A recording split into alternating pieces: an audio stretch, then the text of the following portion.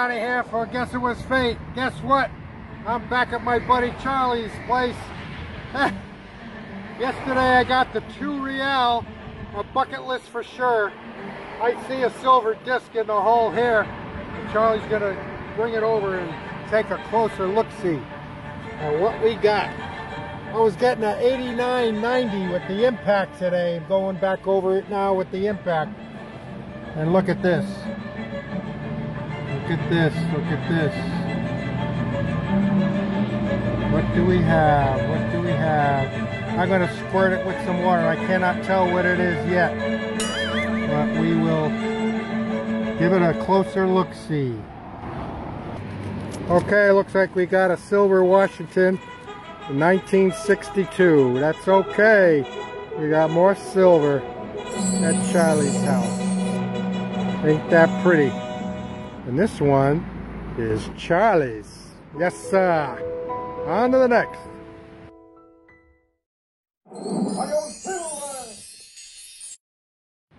Okay, my next find, I thought I was digging an Indian. I was getting a 1234 35 choppy signal.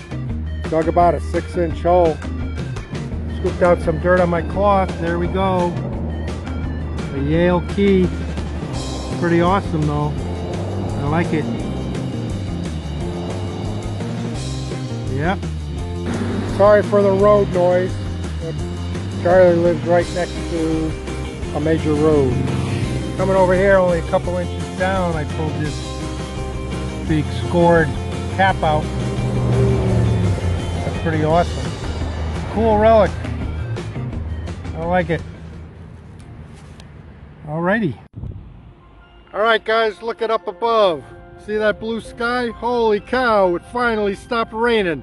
I know a lot of guys have been getting a lot of rain just like we have been here in Connecticut. Like a straight week of rain. And so I'm back at the happy hunting ground in between rainstorms.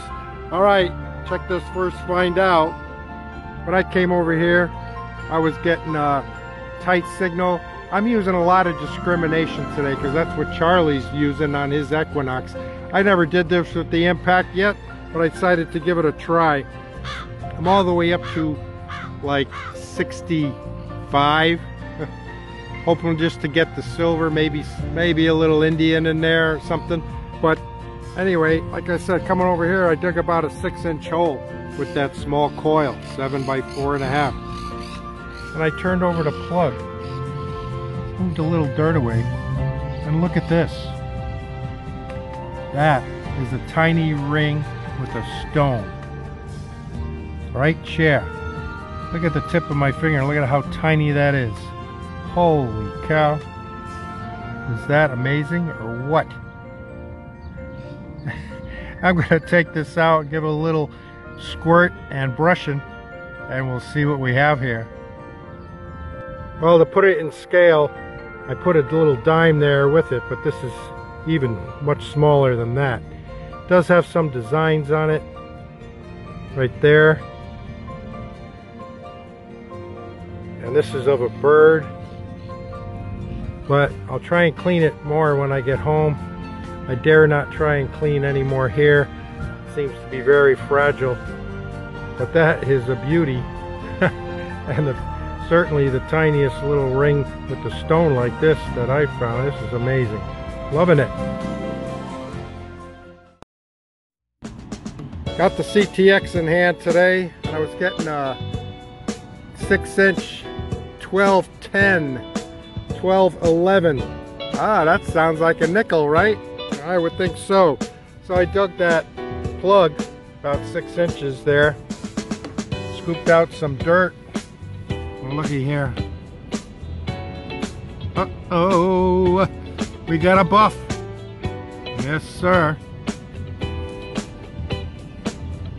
And like so many, I hope I can get a date on it, but uh, We'll do a little brushing off after a little drying out. We'll get right back with you. Well, I don't think I can see a date. Just like so many of these buffs where they put the date, you know, they all get worn away. But the other side is pretty nice. Oh, the buffalo, five cents. Yes, sir, I love digging buffs. All right, and on to the next. Okay, it's been a while since my last target for that buffalo nickel. I'd say about 35 minutes. Dug some clad and trash, of course. Not gonna show that. So, coming over at this section here, near the roadway, and I was picking up a deep choppy signal 1238 like 8 9 inches. And uh, that's kind of high for an Indian but you know what? Guess what? I see some greeny down there. Let's hope for the best shall we? Still got some dirt right on it. I'm gonna take her out right now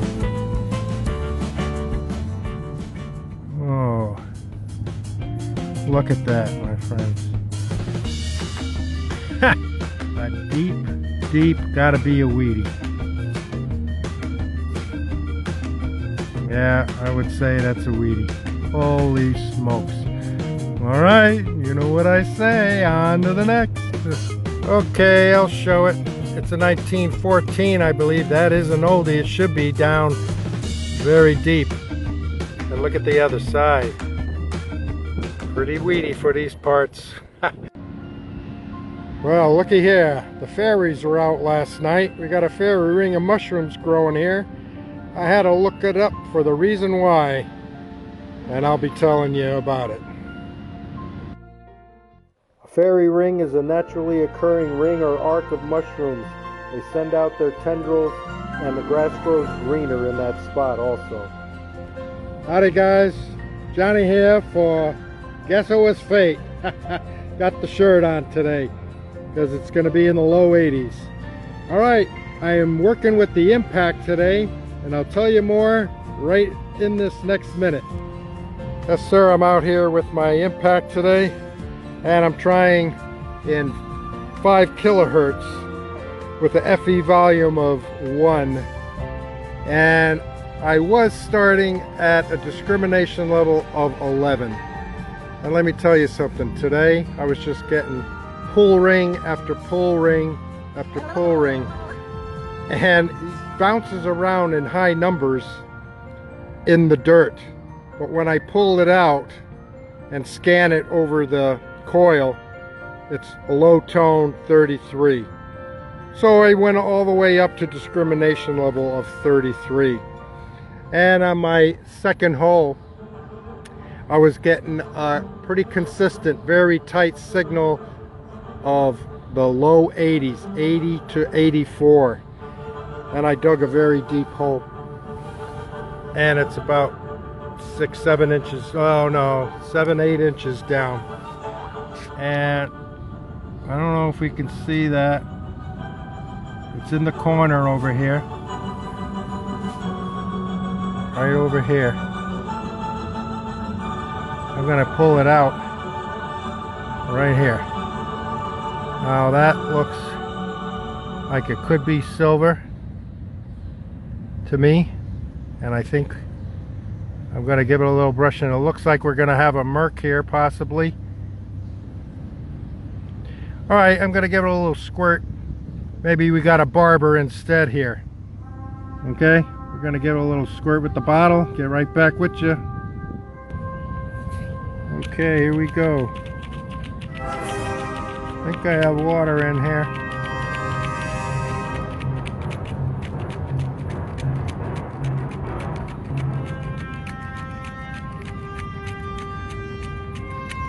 Okay.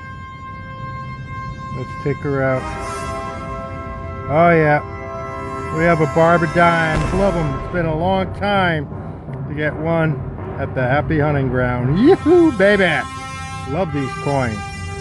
All right, I'm gonna give it a good cleaning and we'll take a closer look-see.